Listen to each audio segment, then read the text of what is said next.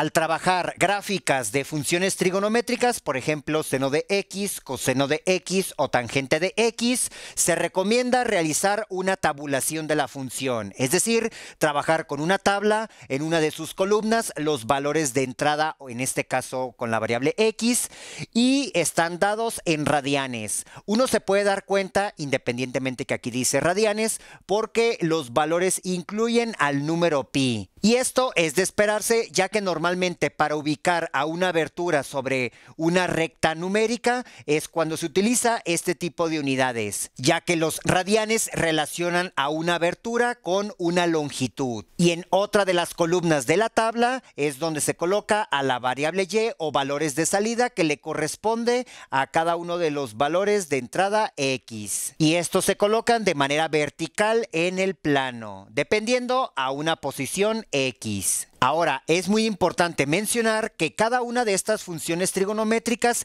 involucra a la división de dos lados de un triángulo rectángulo que está formado con un ángulo de referencia X. Así que si queremos obtener cada uno de estos valores sin apoyo de una calculadora científica, no se preocupen, pues simplemente dibujen estos triángulos para cada uno de los valores o aberturas que se tiene, se dividen los lados y así es como se va llenando esta tabla. Y para que quede esto más claro, les dejo un video al final reforzando esto de trabajar sin una calculadora científica. Sin embargo, en un examen o simplemente en la escuela, pues no hay mucho tiempo para realizar todos estos triángulos y por eso es importante saber utilizar funciones trigonométricas para calcular sus valores en esta calculadora científica. Normalmente hay que trabajar con el modo, es decir, en este botón hay que presionar hasta que a esta pantalla donde se da la opción de dec o degrees, grados hexagesimales, rad de radianes, que es la 2,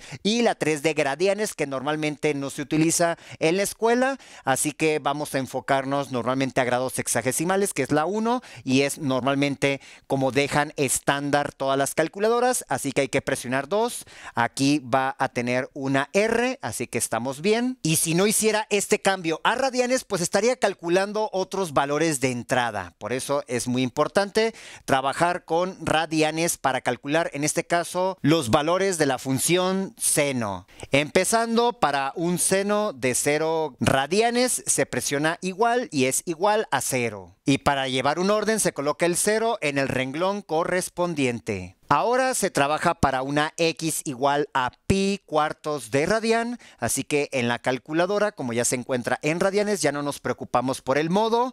Presionamos la función seno. Voy a abrir un paréntesis para llevar un orden. Tengo que presionar shift para poder habilitar al número pi, el cual se divide entre 4. Cierro el paréntesis, presiono igual y se obtiene su valor. Sin embargo, para no anotar todos estos decimales, recomiendo mover el modo de la calculadora a un redondeo a dos decimales. Así que quiero un resultado siempre fijo o fix. A dos decimales presiono la opción 1, luego presiono 2 y listo. Ya me redondeó el resultado que es 0.71. Ahora para una x igual a pi medios de radian. Y aquí va un tip para que no borren todo lo que ya tenemos escrito. Presionamos aquí a la izquierda, nos colocamos donde dice 2. Vemos que está parpadeando el cursor y simplemente hay que presionar un 2 y se intercambia el 2 por el 4. Se presiona igual y así es como se obtiene su valor que es 1. Ahora para una x igual a 3pi entre 4 radianes, como se quiere colocar un 3 a la izquierda del número pi, vamos a utilizar el botón de inserción presionando Shift.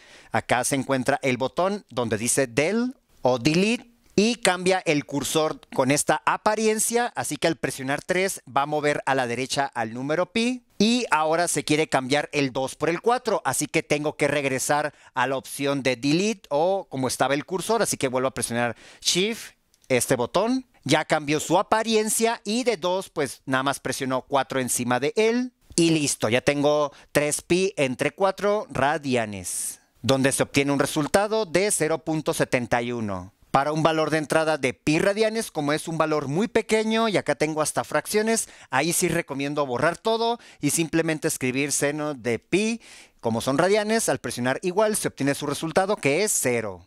Para calcular el valor de 5 pi entre 4 radianes, tengo aquí en la calculadora nada más el valor de pi, es muy sencillo, a mí se me hace más fácil borrar y escribir 5 pi, en este caso que se divide entre 4. Presiono igual y se obtiene su valor de menos 0.71. Ahora para 3 pi medios de radian, pues en la calculadora, como ya tenemos una fracción calculada, vamos a regresarnos y cambiar el 5 por un 3, así que está parpadeando, entonces estoy seguro que si presiono el 3 lo intercambia y al último el 4 también ahora lo cambio por un 2, presiono igual y así es como obtengo su valor sin tener que escribir todo. Ahora para 7 pi entre 4 radianes, como también tenemos una expresión ya evaluada de forma fraccionaria, pues nada más nos colocamos hasta donde dice 3, ahora se quiere un 7 y en el caso de 2 ahora se quiere un 4, se presiona igual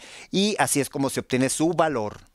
Y finalmente, para 2 pi radianes, como no utiliza fracciones, pues se recomienda ahora sí borrar todo o simplemente puedo colocarme a partir de el signo entre, presiono delete, delete y ahora donde dice 7, pues lo cambio por un 2, presiono igual y así se obtiene su resultado.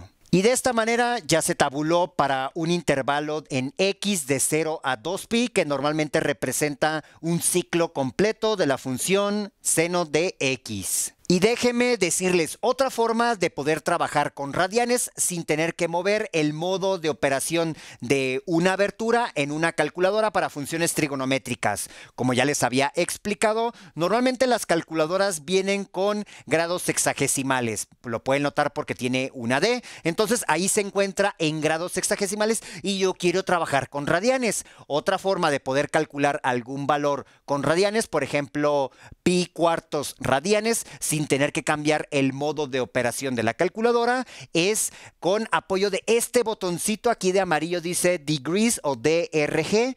Así que voy a calcular, por ejemplo, seno de pi cuartos de radian, pero ahorita son grados. Entonces, para aclarar que quiero radianes, presiono otra vez Shift, se habilita este botón y me dice, ¿con qué quieres trabajar? Bueno, yo este valor lo quiero calcular con radianes, presiono 2 y se agrega una R en la parte superior derecha. Así como en los grados uno coloca un círculo, de hecho puedo borrar este radian, volver a presionar shift, me voy a esta parte, quiero ahora grados y me pone el clásico circulito donde aclaro que todo esto está en grados sexagesimales, pero vuelvo a decir, este botón lo que quiero es mostrarles que a pesar de que el modo se encuentre en grados, puedo calcular un cierto valor en radianes. Presiono igual y nos da este valor que ya sabía calcular calculado, para mostrarles que sí se pudo trabajar en radianes. Y al quitarle esta R, pues es de esperarse que como está el modo de grados sexagesimales, me va a calcular pues en este modo y de ahí se obtiene otro valor.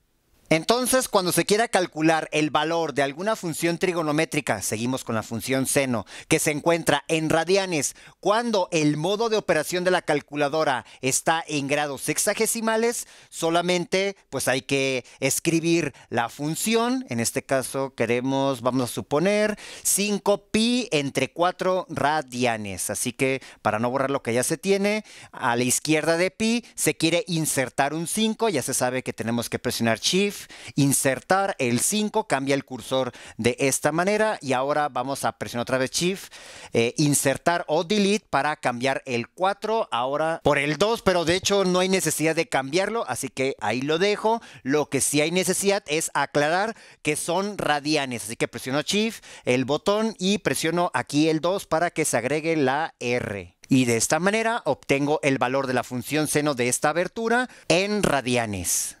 Y para no quedarnos con la duda, ¿para qué me sirve llenar esta tabla? En este caso de la función seno de x, recordemos que se tiene un plano xy, así que por cada pareja de los renglones que se tienen en esta tabla, se puede ubicar un punto en este plano, que al unirlos es como se obtiene la gráfica o comportamiento, por lo menos en el intervalo que se tiene de la función seno de x, que se debe de saber, o después lo sabrán, que por ser periódica, comportamiento se repite tanto a la derecha y a la izquierda de estos valores. Por eso puse aquí eh, puntos o líneas separadas. Así que para la primera pareja dice X0, nos ubicamos en X0 y Y0. Así que es el origen, se pone un punto. La siguiente pareja, a partir del origen, uno se mueve pi entre 4 radianes y se levanta 0.71, considerando que esta amplitud máxima es más 1. Para la siguiente pareja, uno a partir del origen se coloca en pi medios radianes y se levanta 1 positivo, coloca un punto y así uno trabaja con todas estas parejas hasta completar la gráfica para este intervalo de la función seno de x, que yo ya sé que de 0 a 2pi se completa un ciclo de la función, por eso se ve completita. Y si ustedes no conocen hasta cuándo se repite o se tiene un comportamiento periódico de alguna función, no se preocupen, no pasa que se quede incompleta la gráfica. Y ya ustedes de tarea, pues borren estos valores de y para la función seno de x y trabajen en los valores de y ahora para la función coseno de x para el mismo intervalo en x de 0 a 2pi. Y después los borran y lo hacen ahora para la función y igual a tangente de x.